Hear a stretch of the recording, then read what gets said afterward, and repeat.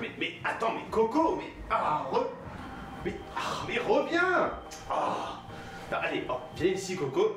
Voilà, juste ici. Et tu bouges plus, hein Ah, bonjour les amis. Alors aujourd'hui, dans le monde de la marionnette, je vais vous présenter les animaux exotiques. Alors vous l'avez vu, on a Coco le perroquet. Bon, je préfère le tenir parce qu'il aime bien s'envoler.